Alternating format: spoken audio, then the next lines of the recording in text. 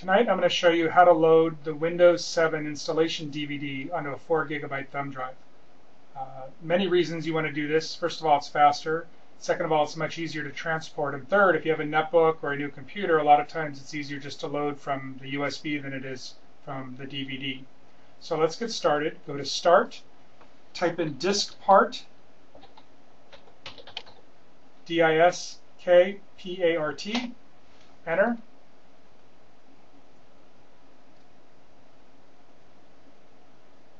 Okay, once you've done that, what you'll want to do is you'll want to enter list disk.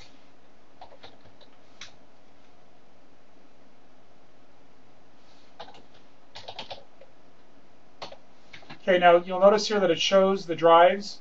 It has my regular drive, and then it has the USB drive that I inserted. Then you're going to select the disk, and you're going to have the disk be the number of the one you want to use.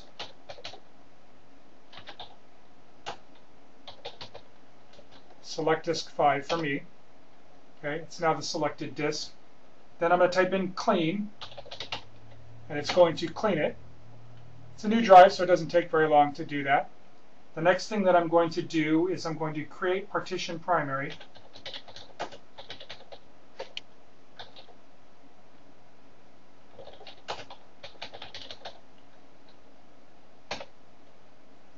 Okay, it'll give you a response succeeded. Then I'm going to type active. It's marked as active now. Now I'm going to format it. So what I'm going to do is type in format space fs equals FAT32 and then quick. Now it's going to go through and format the USB drive. And I'll be back in just a moment after it's completed. Okay, now we're going to type in assign. Okay, and it's now giving it the K. You can see here, and it's good to go, so we'll open that up. And we are ready to go.